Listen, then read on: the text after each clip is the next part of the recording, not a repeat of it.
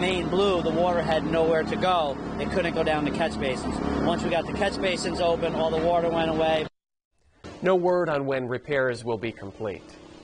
National Grid continues to repair power outages following Thursday night storms. Over the last two days, they have been replacing 75 poles across eastern New York.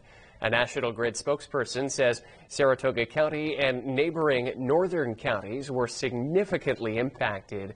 The power of the winds and the longevity of the storm, they say, has made this more difficult for workers. So we were picking up customers through the day yesterday, and then losing other ones because the wind was still blowing. So it was just a, it was a, it was a very long duration storm. Stella says he hopes all customers will have their power restored soon, but harder hit areas like Gloversville and northern Saratoga County might not be restored until Sunday. Firefighters from across New York gathering in Troy